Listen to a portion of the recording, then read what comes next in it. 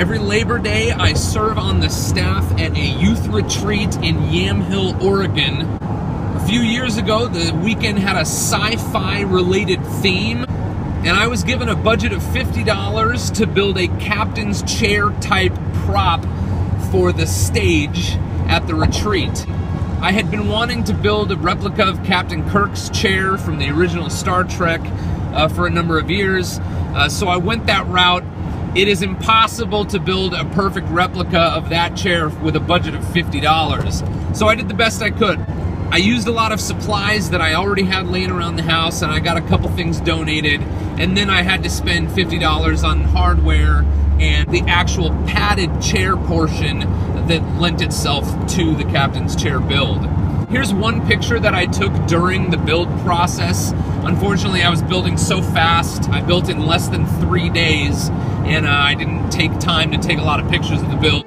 Here's one picture of the completed chair on the stage at the retreat. So since then, the chair has been in storage, and uh, they're trying to clean out this storage area. So I'm gonna go pick up this chair. I don't know what kind of condition it's in. We'll see.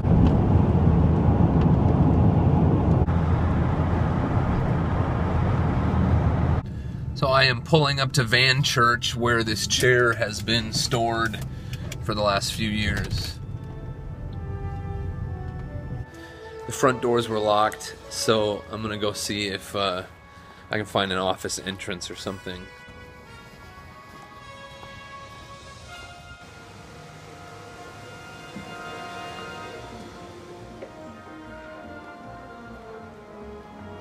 Bonnie?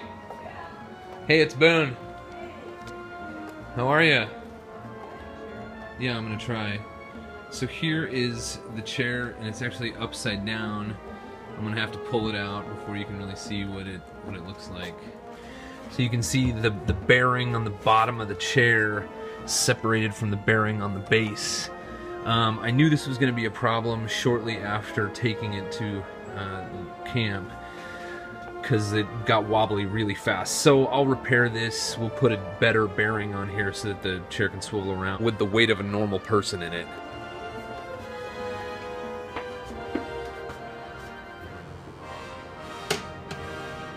There is the the chair.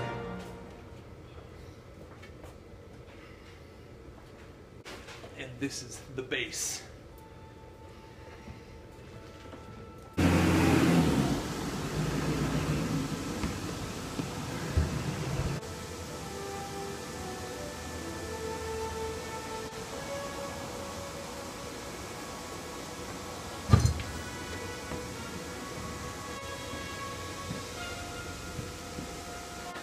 So it's going to need a lot of work, uh, but I'm really glad to have it back. We'll fix it up, maybe take it out to the retreat one more time this year, and then we'll find a new home for it.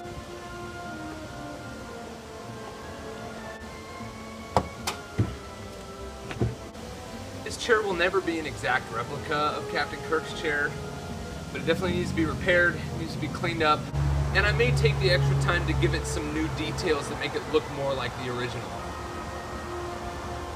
Thank you.